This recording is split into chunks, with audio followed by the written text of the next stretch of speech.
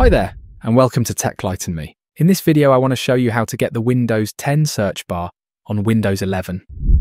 Start by opening your browser of choice and then do a Google search for Explorer Patcher. The best result should be the Explorer Patcher GitHub page. Go ahead and click on that to open it. On the next page, click on the Releases tab here on the right. On the next page, find the latest Explorer Patcher executable file and click on it to download it. Once it's downloaded, click on the file to open it. If you do get any prompts, just accept or allow all of them.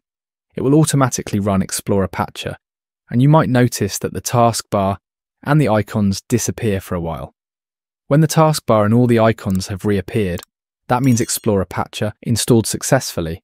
Now you need to access the Explorer Patcher properties.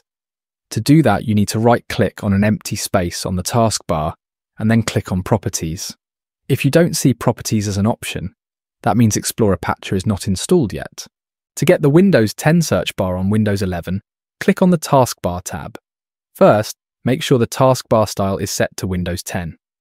Next, take a look at the Search setting and change it to Show Search Box if it's not selected already. If the search still opens in the center of the screen like shown in the video, navigate to the Start menu tab. Here, change the Start menu style to Windows 10. Next, change the position on screen option to at screen edge. Now click on the Restart File Explorer button to apply the changes. The taskbar and search bar on Windows 11 should now resemble Windows 10 a little more. If this video was helpful, remember to like and subscribe for more tech enlightenment.